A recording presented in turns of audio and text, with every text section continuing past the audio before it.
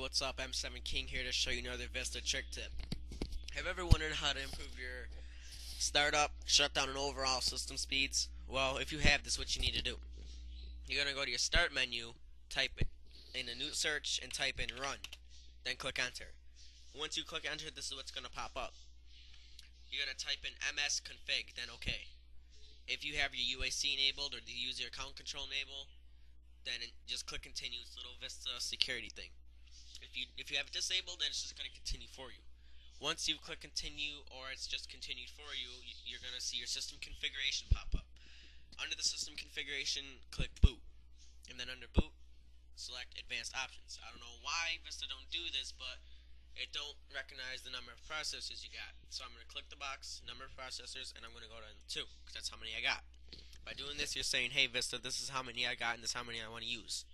So just go down to the, the, the drop down bar and select the, the total number that you have. And then click OK.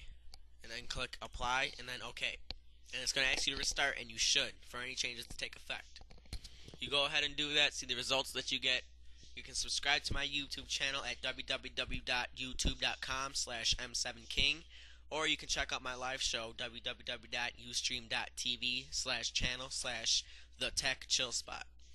And there you can ask questions, get help, or even give help. So, once again, this is M7 King. Thanks for watching.